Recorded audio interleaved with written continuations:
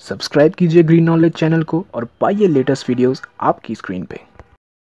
नमस्कार दोस्तों, इस वीडियो में हम बात करेंगे माचिस के बारे में और जानेंगे कैसे कई लोग उसे किसी भी सरफेस में रगड़ते हैं और उसे जला देते हैं। जब हम माचिस को जलाते हैं तो बहुत कुछ होता है उस छोटे से समय में।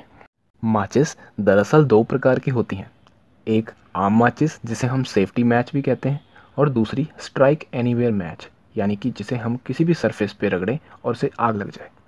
एक आम माचिस को देखें तो उसमें हमें एक माचिस की तीली और उसकी डब्बी में स्ट्राइकर पैड मिलता है। इस माचिस की तीली की बीड में एंटीमोनी ट्राइसल्फाइड और पोटेशियम क्लोरेट होते हैं।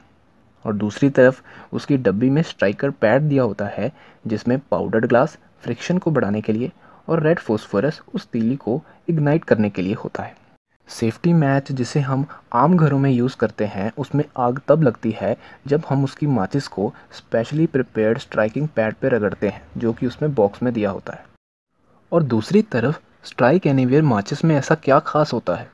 इसमें सिर्फ़ हम जो स्ट्राइकिंग पैड पर रेड फोस्फोरस होता है, उसे वहाँ से निकाल कर उसकी जगह फोस्फोरस सिजक्वी सल्फाइड हम माचिस की तीली की बीड में ही लगा देते हैं।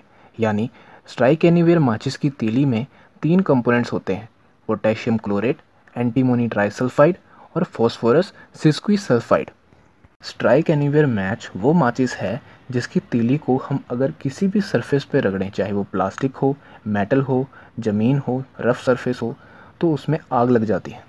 अगर मैं इसे और आसान तरीके से समझाऊं तो रेड फॉस्फोरस ही माचिस को जलने में मदद करता है। जो आम माचिस होती है, उसमें हम माचिस की तीली को अगर स्ट्राइकिंग पैड पे रगड़ेंगे, जिसमें रेड फोस्फोरस होता है, तभी उसमें आग लगेगी। और दूसरी तरफ़ स्ट्राइक एनीवेयर माचिस में हमारी माचिस की तीली के ऊपर ही रेड फोस्फोरस लगा होता है। यानी हम सिर्फ़ उसको किसी भी सरफेस पे रगड़ कर हीट प्रोड्यूस करेंगे और उसमें आग लग जाएगी। इसके फ्लो डायग्राम से हमें और अच्छे से क्लियर होगा कि ये प्रोसेस आखिर होता कैसे है। सबसे पहले हम जब माचिस की तीली को स्ट्राइकिंग पैड पर रगड़ कर हीट प्रोड्यूस करते हैं, उस समय रेड फोस्फोरस वाइट फोस्फोरस में कन्वर्ट हो जाता है। वाइट फोस्फोरस का इग्निशन टेम्परेचर बहुत कम होता है, यानी उसमें जल्दी आग लग जाती है, इसीलिए वो पोटेशियम क्लोराइड को साथ लेकर हीट प्रोड्यूस करता है और पोटेशियम क्लोराइड से ऑक्सीजन रिलीज़ हो जाते हैं।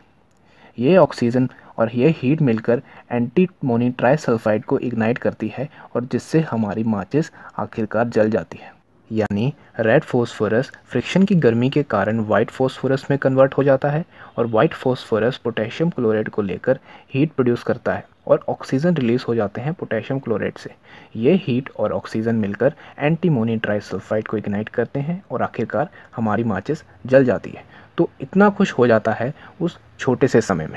आपके मन में आ रहा होगा कि कहाँ से ख़रीदें ये स्ट्राइक एनीवेयर माचिस? देखिए, ये जो माचिस होती है, काफ़ी डेंजरस होती है। क्योंकि किसी भी सरफेस पर रगड़ने के कारण इसमें आग लग जाती है और इसे मार्केट में कम ही बेचा जाता है। लेकिन आप इसे घर बैठे भी बना सकते हो। आपको सिर्फ़ माचिस की डब्बी का बाहर का पाउडर निकाल देना है। उसे इकट्ठा करके उसमें दो चार बूंदें पानी की मिलानी है। फिर माचिस की तीली को लाकर उसकी बीड पर उसे थोड़ा सा ये मसाला लगा देना है। जब वो सूख जाएगा, तब आप उसे किसी भी सरफेस पे रगड़ोगे तो उसमें आग लग जाएगी। सो आई होप कि आपको ये वीडियो पसंद आई हो। तो प्लीज़ इस चैनल को सब्सक्राइब कीजिए वीडियो को लाइक और शेयर ज़रूर करना, और आज के लिए हैव अ नाइस डे